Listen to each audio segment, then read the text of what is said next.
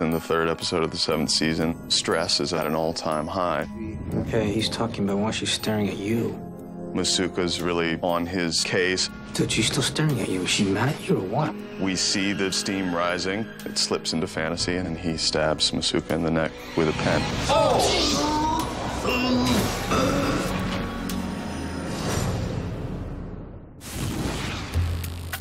My name's David Watkins. I'm the special effects coordinator on the show.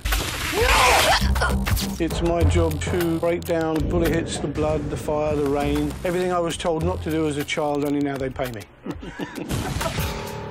they give us the written word, and then we have to translate that into physical engineering. You fucked up, didn't you? You did. You screwed the dead pooch.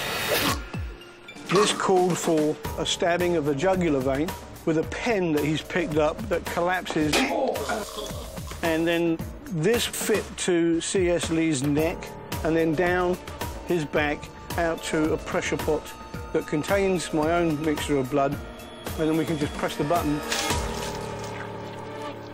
which then gives me blood pouring out all over C.S. Lee. I don't know if Showtime is going to enjoy me giving away these secrets. It was fun just technically, and it was fun to watch CS act as if he'd been stabbed in the neck with a pen. Michael was really into it, and he got me with a rubber pen, like in the neck. You know, sort of like stabbed me there, and I was like, oh.